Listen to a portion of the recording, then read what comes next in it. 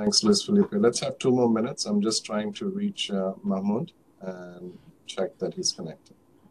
Okay.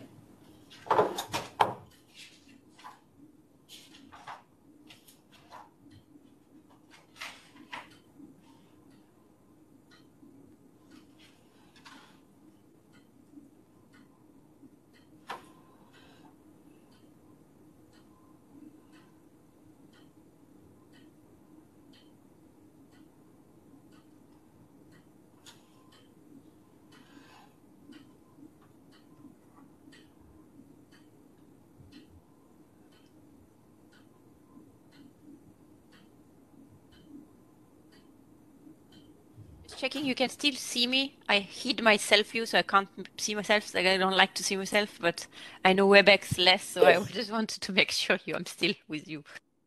Yeah, we can see you. Yes, thank you. Thanks for checking. Uh, welcome, Mahmoud. Thanks so much for joining. Perfect timing. You are muted. Just let's check. We can hear you. So I couldn't hear you. And I'm muted. Perfect. Professor oh. Dibdu, how are you? Minister Mashat and my good friend. How are you, Mahmoud? Good to Hello, see you.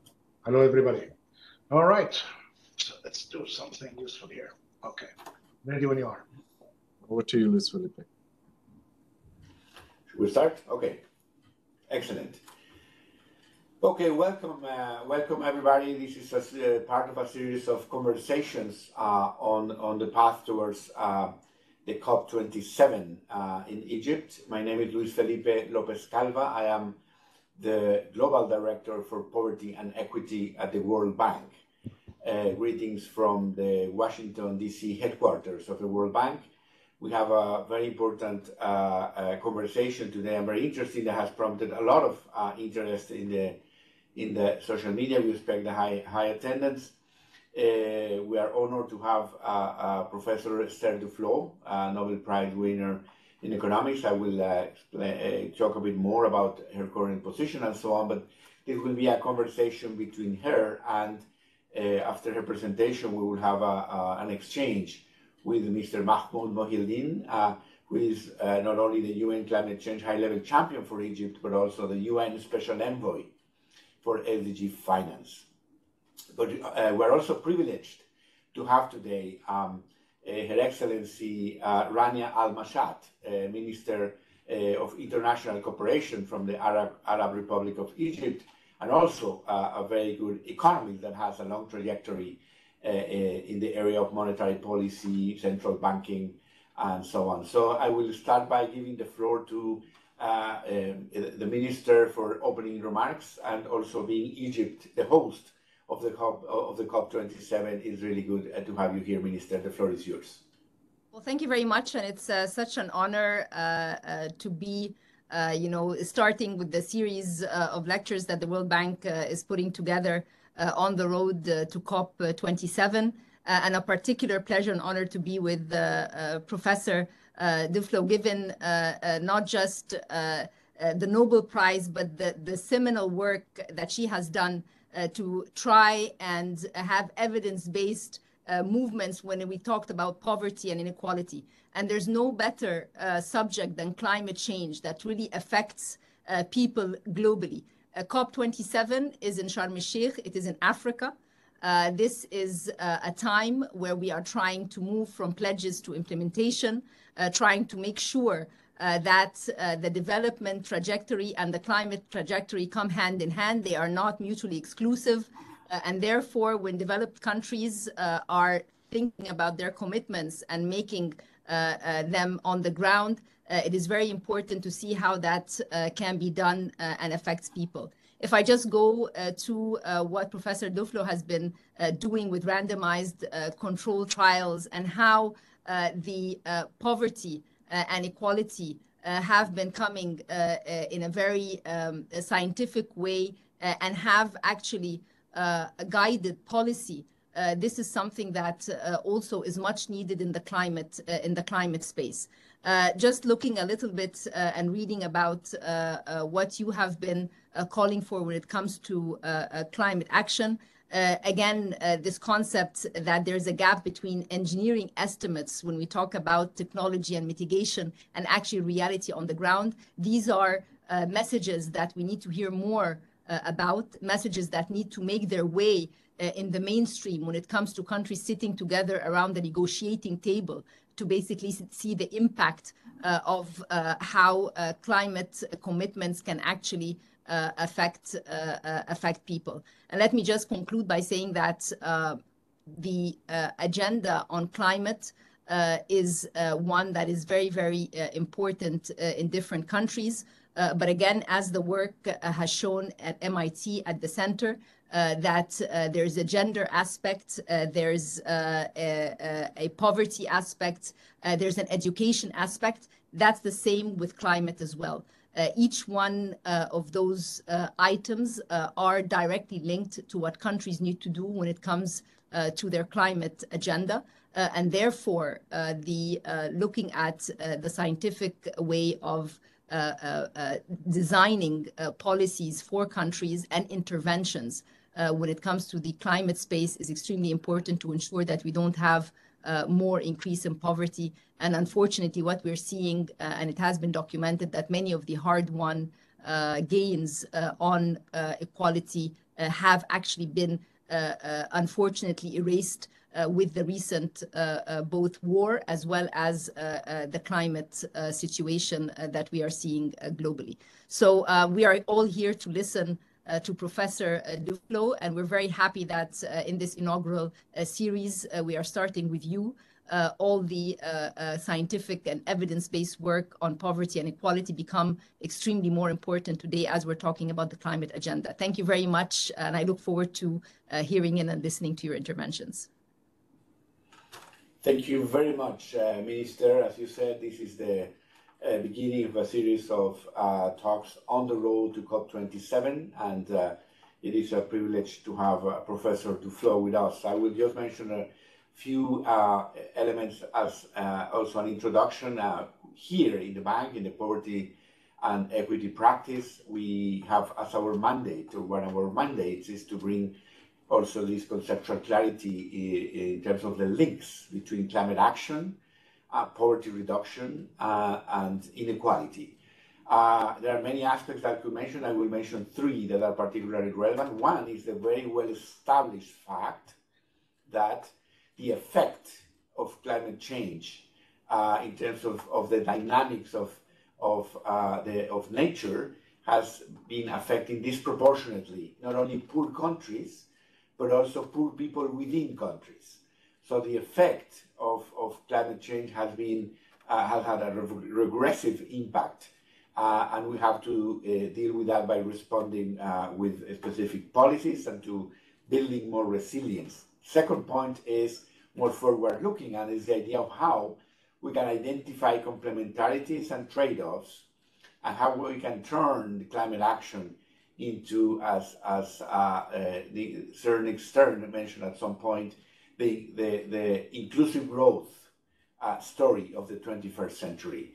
Uh, where, are, where are these real opportunities in a place in which we are asking countries to undergo a major structural transformation, technological transformation that go from energy transition to very concrete uh, uh nature-based solutions at the level of communities and their livelihoods. So this is a, a very complex uh, problem and finally, I will just mention also that it also matters the, the, the, the distributional elements of climate, uh, of, of climate change in general also matter for the political economy. When we talk about policies that will have to be implemented, um, it's not only about the comparative statics of two points in, in two different scenarios, it's actually the transition uh, towards the, the, the scenario with more inclusiveness and sustainability that involves also political economy constraints. We cannot talk about everything in this session, but we have one of the uh, uh, absolute leading experts uh, that has really taught us a lot about the economics of poverty, Professor Esther Duflo. She is the Abdul Latif Jameel Professor of Poverty Alleviation and Development Economics in the Department of Economics at the Massachusetts Institute of Technology. Uh, she's also the co-founder and co-director of the Ab- Abdul Latif Jameel Poverty Action Lab. And I could go on and on uh, in terms of tra- her trajectory. We know her work. She's the founder and leader of the uh, RCT uh, movement in economics profession. She was also awarded two uh, awards that, in a way, are the, the leading indicators of the third one that she got. So she was the she was awarded the Genius Grant uh, MacArthur Fellowship in 2009 and the John Bates Clark Medal in 2010. And as I said, the leading indicators to what will come later, uh, which is the Nobel Prize in Economics. So, Professor Duflo, thank you very much for uh, you know allowing to be part of this uh, series and having the inaugural, inaugural uh, uh, talk. So, I will give the floor to you for 20 minutes and then I will go uh, to our next speaker, uh, uh, Mr. Mahmoud Mohieldin. So, Professor Duflo, the floor is yours. Thank you uh, very much, uh, Minister. Thank you uh, to the organizer for having me. Thank you for organizing this series of talks in the first place. It's very, very, very important that the World Bank uh, takes a leading role in these discussions, and it's particularly nice to see this happening. Uh, uh, thank you, Mahmoud, for being here and for being a champion of uh, the poor in the uh, uh, climate change conversations. Uh, Minister, I'll take the opportunity to also thank Egypt for uh, uh, being the host for our newest uh, office, uh, uh, MENA, who is now in Cairo and has a successful collaboration with the with the Egyptian government through the Egypt Impact Lab, and we are looking forward to do do much more together.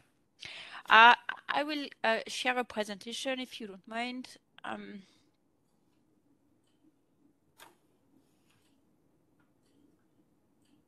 and I'll try to do uh, the, to go through the presentation rapidly so that we have uh, we have uh, ample time for conversation. Uh, climate change is uh, a problem on many respects, and one of them is that it's going to be very difficult to convincingly address uh, for the following reason reasons, set of reasons. The first one is that the emissions responsible for climate change are mainly due to the behavior of rich, rich citizens in the world, and in particular, rich citizens in rich countries. Uh, let me show you some uh, statistics that, that show it. This is uh, work from the World Inequality Report, uh, which shows um, uh, which uses a simple consumption model to show uh, the carbon footprint, to calculate carbon footprint at the individual level within the world, and then shows that the top 10% uh, biggest emitters are responsible for about 50% uh, uh, of the global emission, while the, the, the bottom 50% is only responsible for about 10% of the world emissions. So that's what is called the 10-50 rule.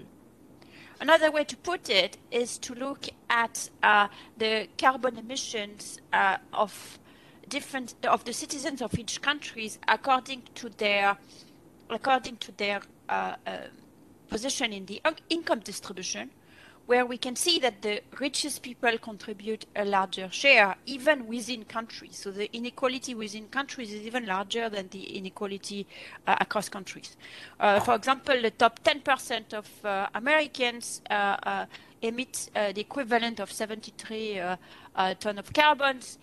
to compare to the top 10% of Europeans who do who only emit 29%, but then the top 10 1% of Europeans who are not represented on this graph uh, also emit 73% of the uh, of tons.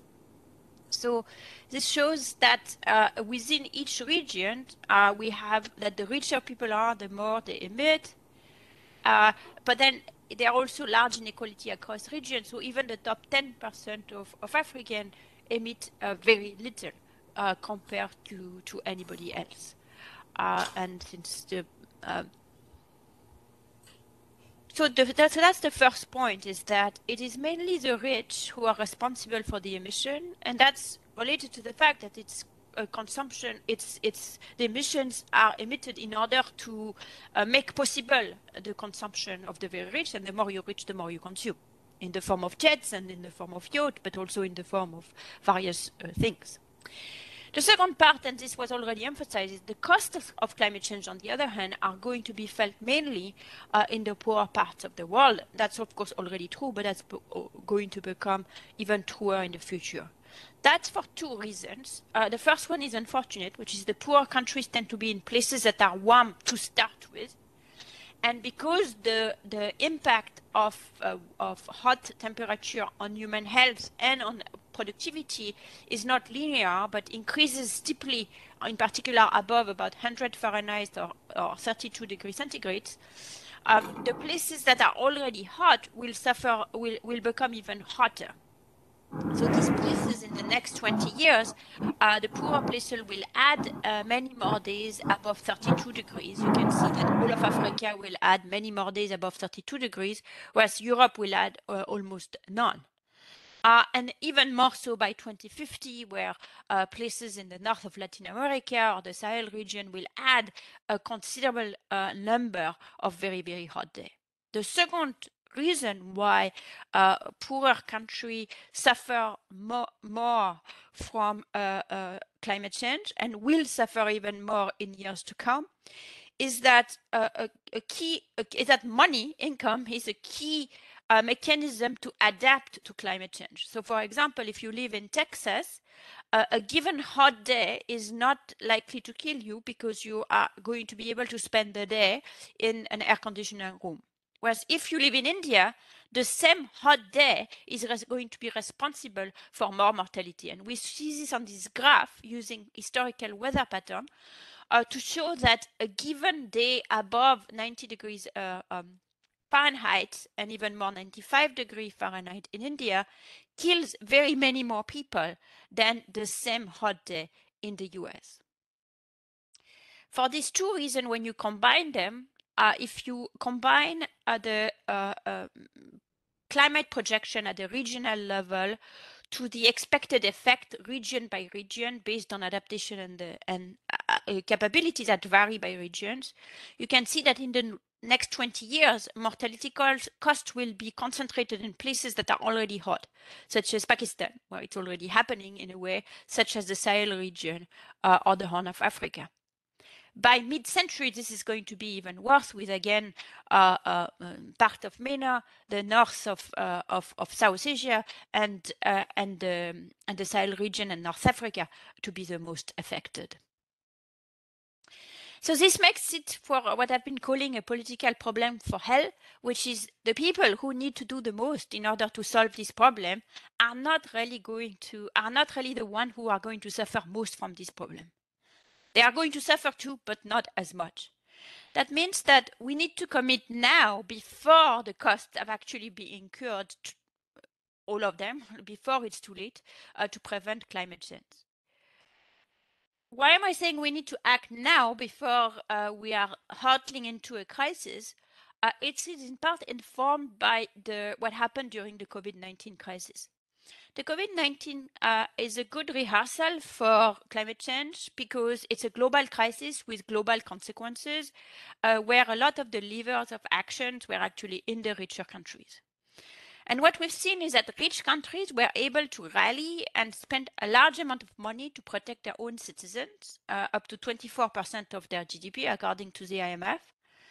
But despite the economic cost of the pandemic in poor countries, there was in fact very little increase in aid going there. Uh, and as a result, the poorest country were only able to spend, you know, a single-digit fraction of their GDP on fiscal support measure. Second example, the world set up COVAX to help poor countries purchase vaccines, but then the rich country proceeded to hog the vaccines that were available early in the pandemic.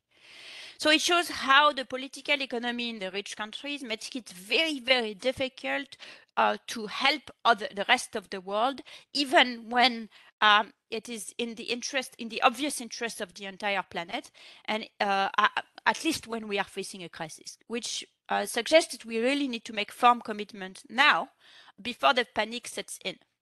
And even if the costs are larger in poor countries, which is what I showed, the experience shows us that rich countries will try to self, save themselves first, even if uh, uh, this is less important to save yourself if you live in Germany than if you live in Egypt.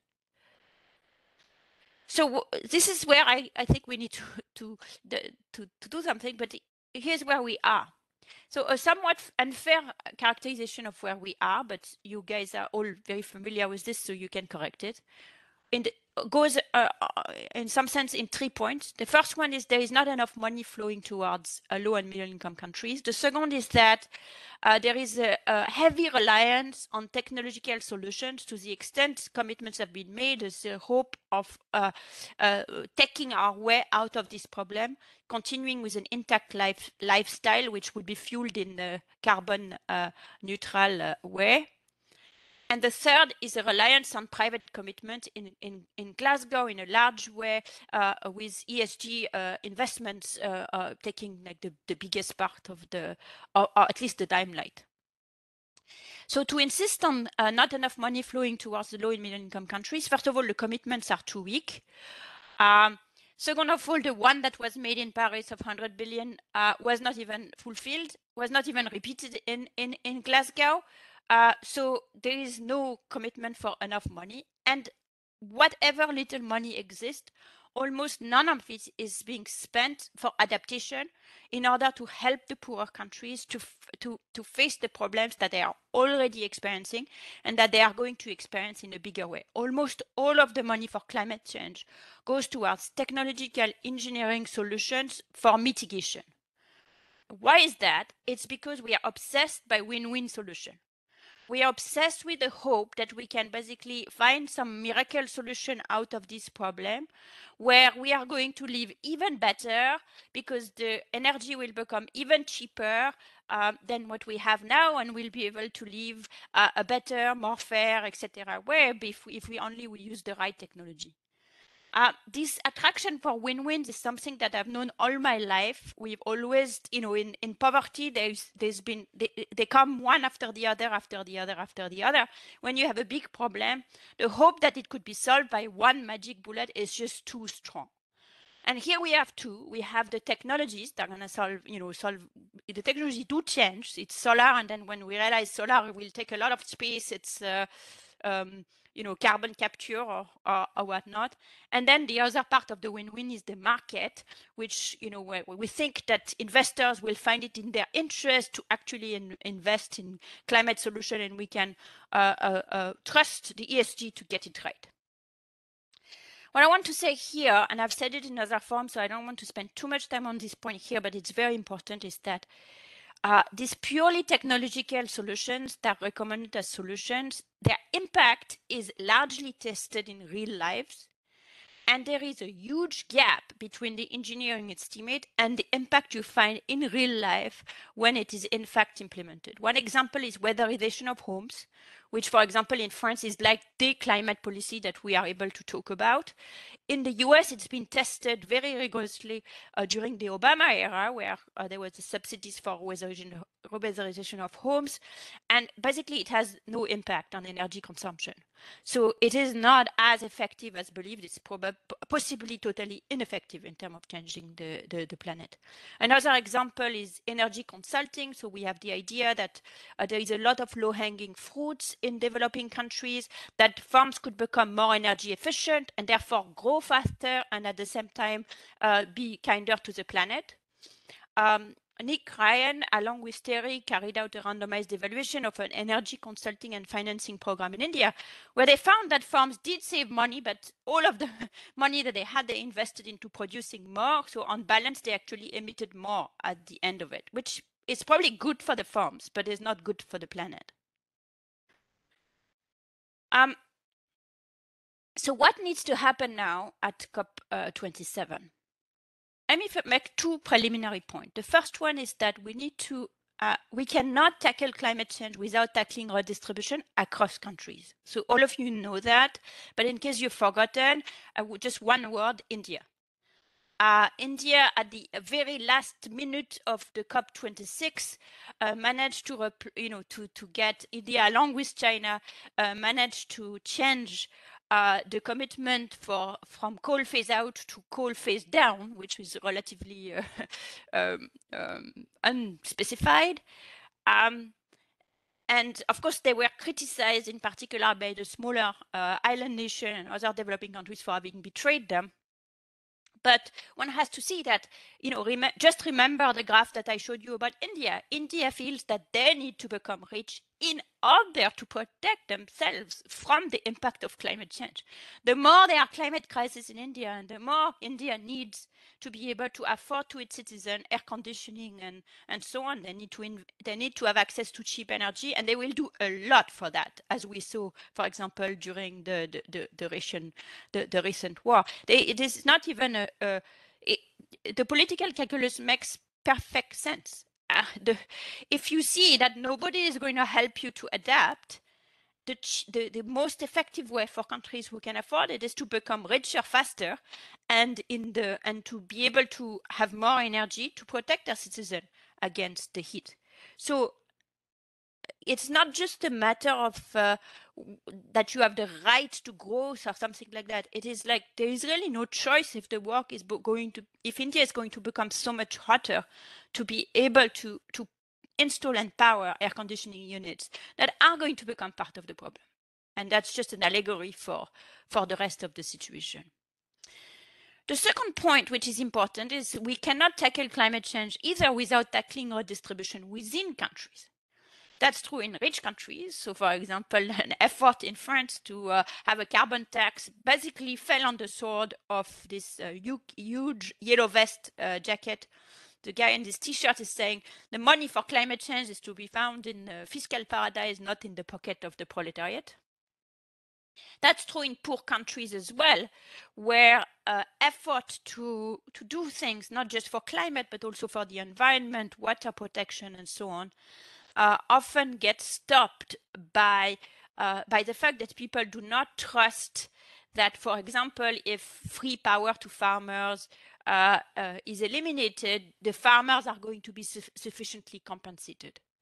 So the the, the, because uh, uh, citizens are extremely worried about uh, the incidence of any climate change measure on their bottom line, uh, without uh, uh, an effort to redistribute that is absolutely explicit and that is trusted, which is a hard part, uh, all the climate change policy is going to falter within each countries, poor countries and rich countries. So here's a blueprint for a serious commitment to, to funding that take both of these needs into account.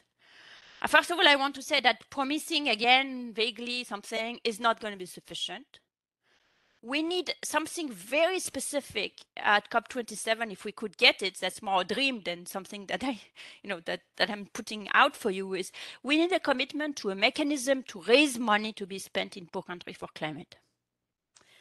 So here is one commitment uh, that I would propose that would be investigated since, uh, as we saw, the contribution to the problem is intimately linked to income inequality, in particular to top income inequality in the world why not make the solution also tied up to inequality?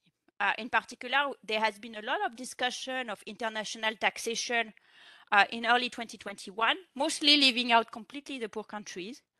But since this situation of international taxation is on the table, uh, why not think about a minimum taxation of very wealthy individuals and corporations uh, that could be put uh, in um, in a fund that would be assigned to a climate that would be exclusively assigned to a climate change adaptation and mitigation for poor countries. Uh, if this is something that we agree to at you know we were able to to uh, the countries were able to agree to to a minimum uh, corporate taxation so it might be possible to agree to something like that. So not just a vague we're going to give you 100 billion if we remember it but uh, this is how we, it's going to be financed and that's an example of, of of a way in which it could be it could be financed which should be politically acceptable uh, by citizens of poor countries. Particularly, the searches could be linked to a proper valuation of the social cost of their activities uh, with a proper accounting of social cost of carbon, uh, of a ton of carbon, uh, uh, properly valued to take into account the loss to human life that are related to climate change and so on. once we have that money, then we need also to have an open-minded approach to find out what works Uh, in climate, like in poverty, there are unfortunately no silver bullets. Uh, the full decarbonization in rich economies will be very difficult and would take a very long time at current level of consumptions and current lifestyle. So we need to we need to learn to consume less, and we don't know how to do it. So so that is something that we need to learn.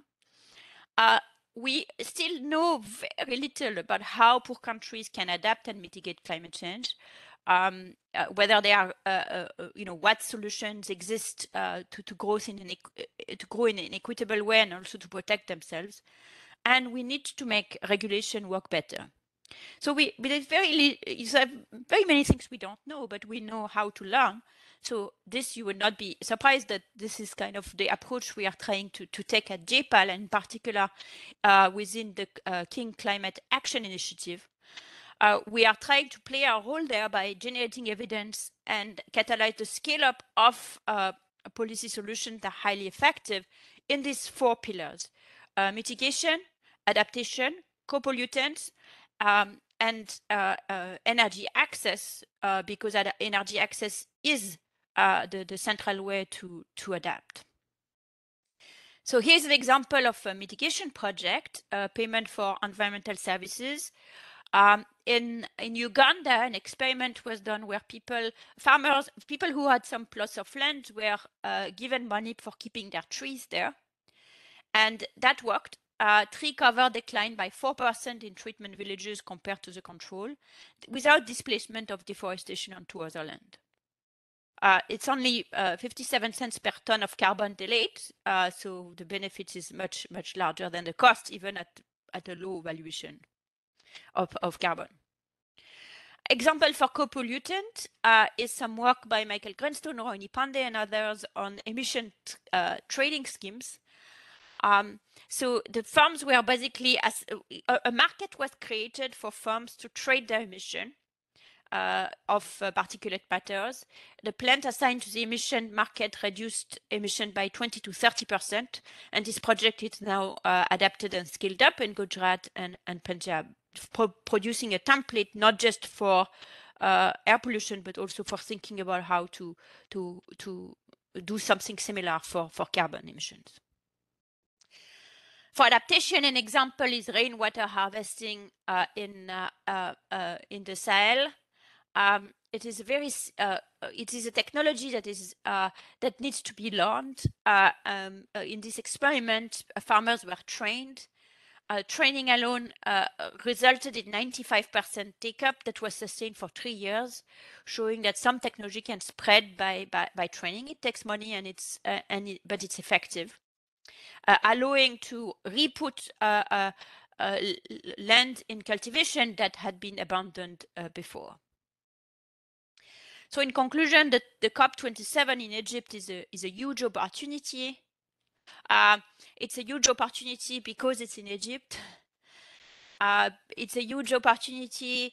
Uh, it's so it's finally in Africa, in a zone where it's hot, uh, uh, led by uh, um, a government that understands the the need and the urgency of fighting this problem. It's also an, taking place. So in that's that's in terms of the place. The time is also auspicious uh, for a bad, you know, as a silver lining of a bad crisis, which is a terribly hot summer we had, and a disaster both in in, in Europe, uh, in the US, and and and of course first uh, and foremost in in Pakistan with the floods that occurred in Pakistan, where we are at a time where people are aware, perhaps more than before, of the urgency of, of tackling this problem. And finally, we are at a time where energy is expensive and uh, traditional energies are expensive, and therefore there might be uh, a bit more of curiosity uh, for for uh, uh, understanding how we can live with different energies, but perhaps also uh, with less. so thank you very much for launching this series and for having me. And I wish all of us a lot of luck in the run-up to COP27. Thank you very much, Professor Duflo. Very clear from the very uh, general statement of the main issues of the problem to very concrete examples of opportunities uh, uh, with, with clear evidence. So thank you very much. Uh, um, Dr. Mahmoud uh, Mohieldin, uh, Egypt's UN uh, climate change high-level champion, UN uh, special envoy for SDG finance. Um, Professor uh, Duflo mentioned the political uh, problem from hell. Uh, you're a champion of multilateralism and how multilateralism can be, um, you know, the best instrument to address global problems. So we would like to hear your reaction. The floor is yours. Right. Uh, thank you so much, uh, my good friend uh, Luis Felipe, for the introduction, for this excellent partnership that we have with you and your team in conducting this series um, of discussion to enlighten the policymakers. It's great um, to have the formidable economist whom we owe a great deal of knowledge of understanding, not just of the problems, but how interventions can, could be maximized. Thank you so much, uh, Professor Duflo, for uh, your um, uh, excellent presentation. You touched upon uh, many aspects um, that of great relevance to uh, a summit that claims from the very beginning it should be a solution summit and an implementation um, uh, summit. And um, on what you mentioned, perhaps let me build on what Luis Felipe just mentioned now on uh, a political uh, problem uh, from hell and how can we provide perhaps economic solutions from heaven with, with, what with what you shared with us um, at, at the very end. Um, and it's all about uh, finance and uh, you propose that mechanism um, of finance that could really go beyond the one the famous 100 billion as you rightly mentioned never been fulfilled and there is a debate whether it is 80% fulfilled or 20% based on which report you are reading. Um, uh, but anyways, when it comes to, to climate finance, it seems, um, and it's good that you put those two examples at the end, one on mitigation and the other on uh, adaptation. It seems that the private sector, in partnership with the government, found its way and the business case for more solutions when it comes to decarbonization and mitigation. Less so when it comes to um, adaptation. And it seems still that even the example that you mentioned, and based on a very good discussion that you had, we had yesterday with uh, our good uh, colleague from the bank, uh, Stéphane Hallegatte, about the adaptation imperative that still the private sector needs to do more. Getting an update from a report from the Global Center of Adaptation, um, um, figures from Africa saying $11.4 billion have been spent on adaptation, of which 3% are private sector. As an optimist, I say, hey, 3%, this could be $400 million that could be scaled up. And then we, when we dig deep, it's this private sector is not really the typical private sector, the profit maximizers, and the risk takers, mainly foundations and institutions. So where exactly you can really see that mechanism working with more reliance on different, perhaps, political economy dynamics? The problem has been with us. The science has proven it, as you mentioned. But then when we are going to be seeing the triggers to have more efforts by the private sector mitigation and to provide more solution in the adaptation front, where, where we suffer more, especially in countries relying more in rural um, activities, agriculture, and food production that being impacted uh, the most. Where exactly you can see the possible intervention from the policy side, perhaps at a local level or national level or internationally? Well, I think one one uh, one of the reasons why we see uh, why we don't see the, the private sector investing in adaptation uh, at all, or mostly almost not at all, uh, is that uh, it, it, it's really very hard to make the case that it's going to pay for itself for someone. it's paying for itself in terms of social welfare, but uh, it is not clear you can bring that money back to your investors in any ways or it is also difficult to make up a story for why you are making the money back to your investor.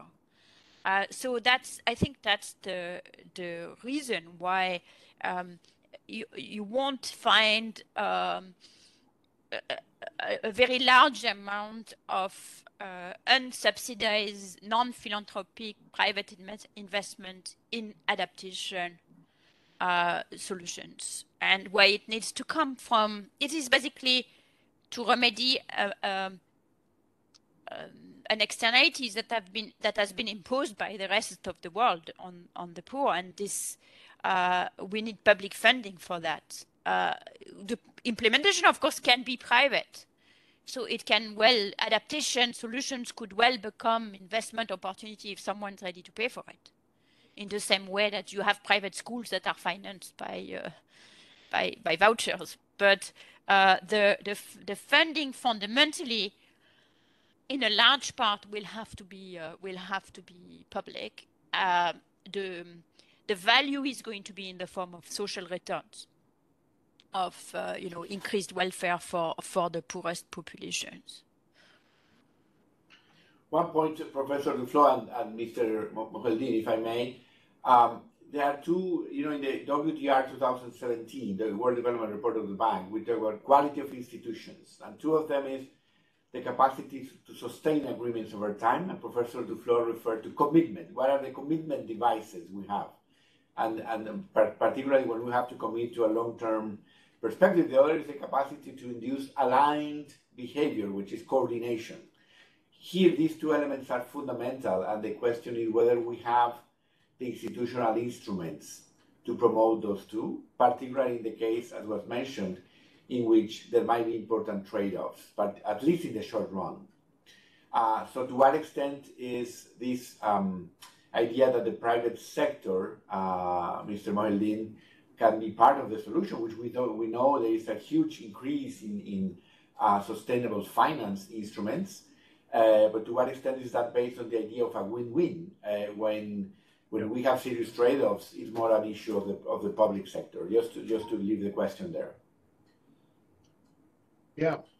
Uh, can, I, can I build on that? Perhaps on the yes. issue of the magnitude of contribution to emissions. You mentioned India, and I was just in India last week. And we had this discussion with many of the thought leaders, with government as well. They are very much fond of this idea of a holistic approach when it comes to climate action perhaps align very much with what you just uh, described to us, that you cannot just talk about climate and forgetting the impact on the poor. Solutions could come from income distribution. This may really require um, some better attention to that holistic approach. Here, this is the series that's trying to identify the synergies and the possible trade-offs between climate action and the SDGs action or the overall action towards dealing, for instance, specifically with eliminating um, extreme poverty? Where are you seeing interventions uh, meeting some areas of tension and pushback?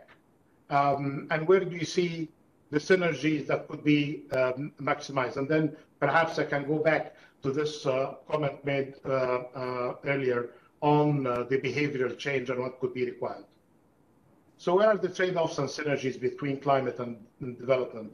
And, and do you see a value of a holistic approach or not?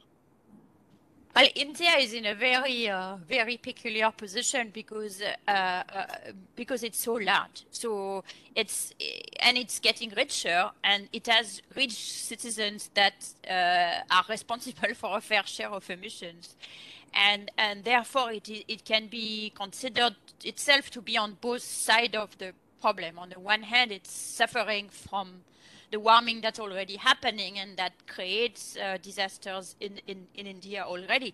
And on the other hand, it's uh, still a poor and growing economy that feels it owes a lot to its citizens and would like to, to see them uh, grow and consume as much as possible.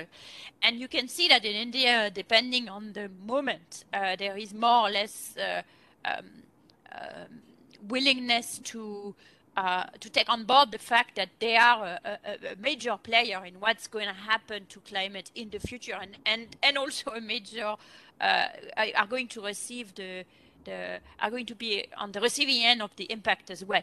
Uh, because it's already hot, because it has a monsoon, and, and because some places in India are already disappearing, and so that's kind of a, a, um, um, pretty remarkable position. And it's also in a in a situation where not all of the investments are sunk in, so it has some possibilities to uh, move, uh, uh, you know, to leapfrog the bad technology to go straight to the good technology. The problem is that all of that takes either money or time.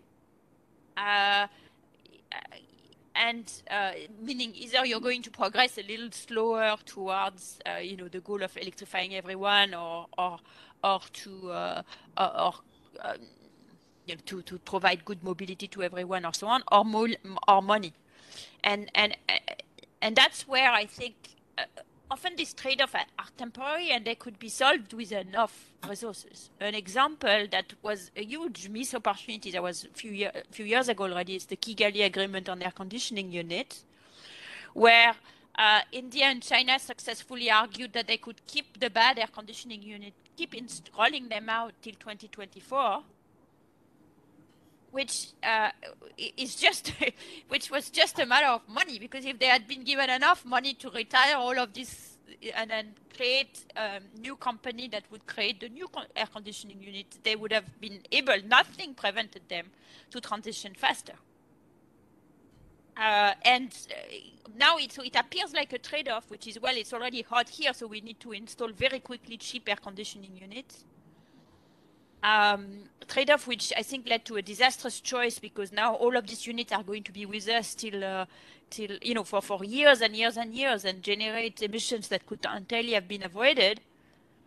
But there was no real trade-off because it was just a question of someone coming up and saying, look, it's okay. We are just going to help you manage this transition.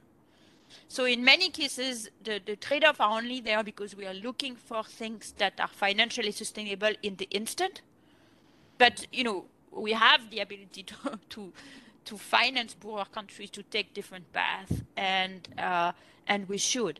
The other trade-off which again is uh, is well illustrated by the situation of India is is and it's uh, could again be uh, said in the in illustrated by the air conditioning is in general India saying look I cannot afford not to become rich quickly because nobody is helping us for adaptation.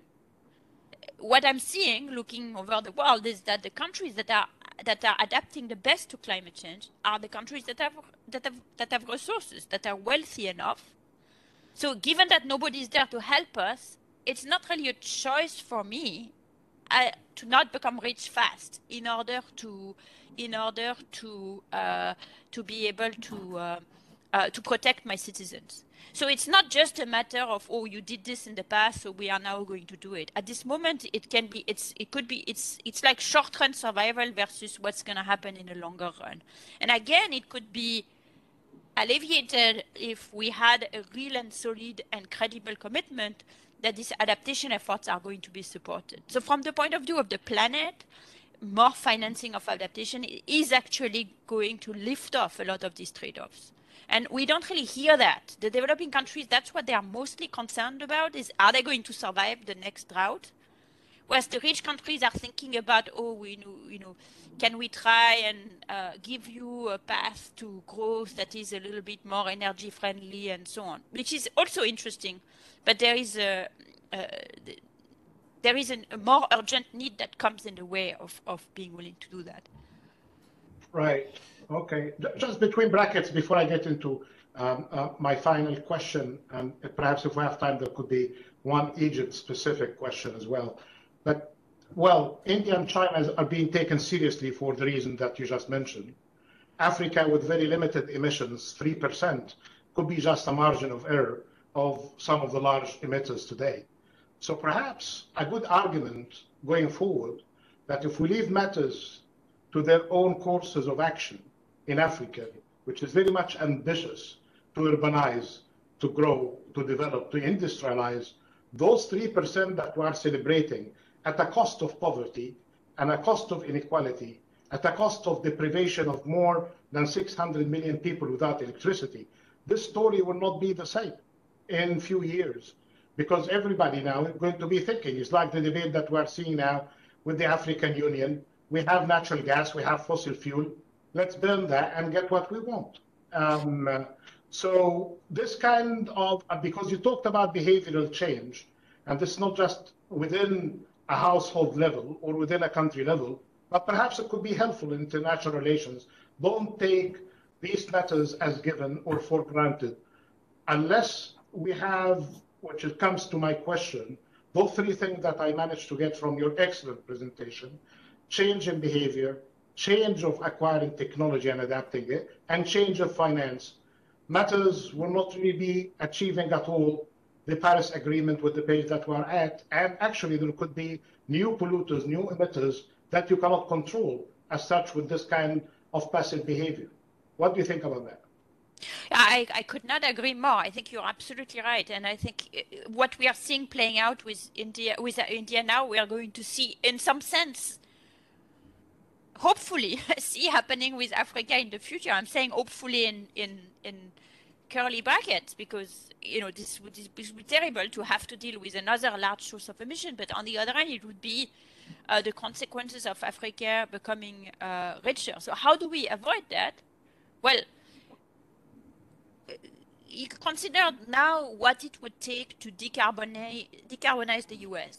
We would need to basically un- put everything out in the trash and then do it again, which eventually is probably going to get done in over some long periods of time. But it's like um, um, having built the wrong pipes and the wrong tubes, and everything needs to be redone from scratch. In Africa, because the, the not all the infrastructure is in place, we have an opportunity to do this right. And so it's going to be much cheaper than for the world to first install things the wrong way and then dismantle them progressively. So that's a huge opportunity for the world. But again, take you know, is Africa? Look at the current uh, uh, uh, financial situation today. Is an African country, uh, take Nigeria. Is Nigeria going to be willing to borrow from say China in order to install some brand new uh, hydroelectric infrastructure when they are not sure what happens if at some point there is a crisis and they can't reimburse and China refuses to be in an IMF program. So unless we have a commitment that is not in the form of a loan that is potentially lending countries on a terrible path, a financial path, countries are not going to do, uh, uh, are not going to be willing to do something that's potentially more expensive and longer uh, because they have no reason to trust us. Us being the international community, richer countries, uh, uh, you know, and and uh, in international institutions as well. So that's why we need commitments that are firm and that are attached with a funding mechanism. Uh, and then only you can uh, reinstate the trust, trust that is needed for citizens vis-à-vis their governments, trust that is needed for uh, uh, developing countries' government, uh, thinking about the rest of the international community, and trust, which for good reasons is in very short supply at the moment. Yeah. Professor Flo, Dr. Mohieldin, if I may, as we, yeah, approach, as we approach the end of the conversation, I would like to ask you a question that is uh, coming from our colleagues and uh, it's it's you know in a way it's it's there in the, in the discussion, but we would like more specificity in terms of the World Bank. What do you think? Two or three things that you think the, the World Bank can do different in terms of climate action and climate interventions. I know if you, want to start, uh, Dr. Mohieldin. I refer to the professor first, and then I can say a couple of things and expectations from the champion. Professor Rousseau. Uh, I don't know if I if I'm uh, um, uh, knowledgeable enough about what the World Bank is already doing and what are the mechanisms in its in its uh, under its control to to fully do do justice to to this question. Uh, the first one, of course, uh, and I I know people are keenly aware of that, is to have a public presence in uh, uh, recognizing the importance of climate change and uh, and the responsibility of the of international institutions, including the World Bank, in dealing with it. Uh, the World Bank is also a knowledge bank, and uh, just uh, sharing the knowledge and sharing the the advocacy is um, given the role of the bank. both in the international community and in each country would be is is essential to, to, have like one one common language that is uh, uh, that is forceful on these issues and that puts the, the welfare of the poorest people at the center uh, is uh, would be a, a, a, good thing. The, the, the second thing uh, is um, to contribute to establishing evidence. Uh, again, no magic bullet in climate change, uh, many, many silver pellets, and we don't have enough. Uh, as the minister said, in some sense, in climate, we're a bit behind the fight against poverty generally, other facets of the fight against poverty, in having many things in our toolkits. The World Bank has played a central and uh, an extraordinarily valuable role in helping government build their toolkit to, to fight poverty, working, for example, on conditional cash transfer, on health policy, and so on. There is, I think, margin to do much more uh, to help countries uh, develop uh, adaptation and mitigation uh, tools that are, available to each countries. So that those are the besides the, the usual, you know, funding, loan negotiation, and grants what, that we can what, think about. Thank you very much. Yeah, um, I'm happy to step in on that and perhaps building on two things that uh, Professor Duflo is doing. One, and the knowledge leader, and other as leading practice in Egypt back home. They have a very interesting um, uh, project, uh, uh, JPAL in Egypt on social protection, linking it to climate. So one area that could be scaled up, a partnership perhaps between the World Bank, other MDBs, with the good work that's starting um, evidence-based approach with JPAL and the beneficiaries of ministries and the civil society in Egypt. That's an, and that could be a good thing. But let me just living in, in the World Bank for 10 years and based on what uh, Professor Duflo mentioned now, it's the issue on the, the, the, the change in behavior, finance, and technology the World Bank, through knowledge sharing, could really play an important role in that. And the finance in particular, one of the best vehicles, the most efficient in a world that is suffering when it comes to finance, from uh, for, for finance to be insufficient, inefficient, and unfair as well because of the cost of borrowing. One of the best mechanisms in existence today is IDA. And that needs really more support. And I would say that IDA terms shouldn't be just limited to IDA beneficiaries, the low-income countries. They could be extended to low-middle income countries, and they could be extended to other institutions, not just the World Bank. So you go to regional development banks or to the Green Climate Fund, you say, well, I need IDA-based finance. This means swift finance, coming with technical assistance, with grace period of paying back for seven, 10 years and more, and the cost of borrowing that is very limited. So that could really be a good solution for this kind of political problem from hell that Professor Duflo mentioned. You get an economic finance solutions on that based on the experience. Are we brave enough to extend IDA terms to low middle income countries, as we did in the past in Iraq, which was middle income, as we did in, to Jordan and Lebanon when they dealt with Syrian refugees, as we dealt in Latin America because of the crisis there as well. A food for thought, basically, because we don't, sometimes we are fond of creating new mechanisms, while some existing mechanisms could really be functioning fast. They will not take many years to be established, and we can benefit from the knowledge of these institutions that host them. Uh, definitely, it has been a fascinating discussion with you, uh, Professor Duflo.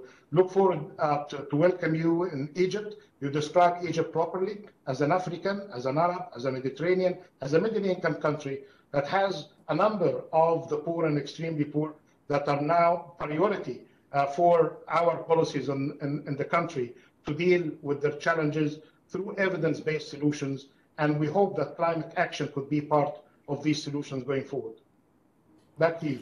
Thank you very much, uh, uh, Professor Duflo. It has been a privilege to hear your presentation and to have this conversation. Dr. Mohieldin, thank you very much. As I said, you're a champion of multilateralism. So uh, we are all expecting the COP27 to to be a great opportunity for the international community. So, uh, Minister Rania Al Mashat, thank you very much for partnering with the World Bank on the road to COP27. Uh, uh, myself, Luis Felipe Lopez Calva, uh, Poverty and Equity Global Director, I thank you all for joining this uh, conversation, and we really expect you to join the series of conversations that we will have in the future. Um, So thank you again, and uh, I wish you all the best.